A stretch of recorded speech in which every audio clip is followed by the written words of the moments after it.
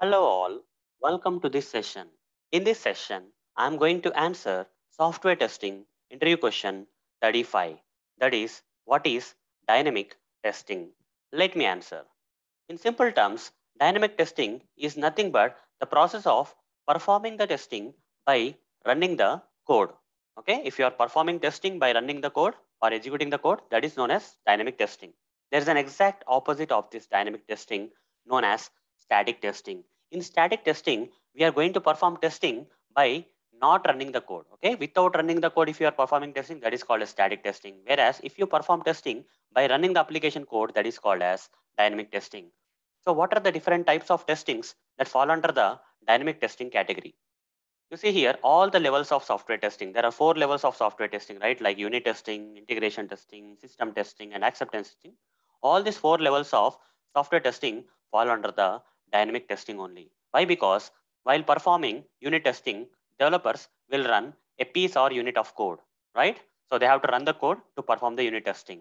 Similarly, developers have to run the code related to logically grouped units to perform integration testing. Here also the code is being run by the developers. Coming to system testing, guys. In system testing, software testers will perform the system testing. For example, here, let's say this application you are testing, tutorialsninja.com slash demo. Let's say I'm searching for something.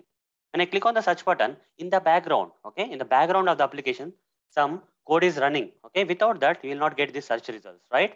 When I enter HP or do some operations on this application, whatever the operations you do on this application, guys, the functionality is working because in the background of this application, the code is being run. Okay, the code is being run in the background of the application. Hence, system testing also is only possible by running the code. Okay, we can only perform system testing by running the code indirectly. Here we are not directly running the code. Like unit testing and integration testing developers have to run explicitly. But here indirectly the software testers while testing the application in the background the code is being run. Hence system testing also falls into the dynamic testing category.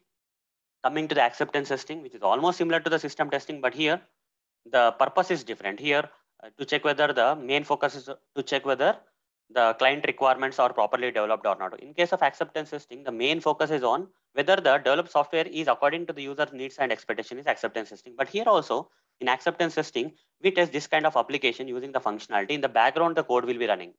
Hence, since the code is running in case of system testing and acceptance testing in the background, they also fall into the dynamic testing category. Okay.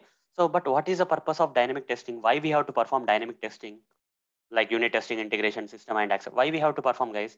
The main purpose of performing the dynamic testing is to find or identify the defects in the software and get this particular defects fixed. Okay. So before releasing the software into the market, we have to find the defects in the software and get this particular defects fixed by the developers. That's what is the purpose of the dynamic testing. So hope guys, you got the answer for what is dynamic testing. So that's all for this session. In the next session, I'm going to answer another software testing interview question for you. Till then, see you. Bye-bye.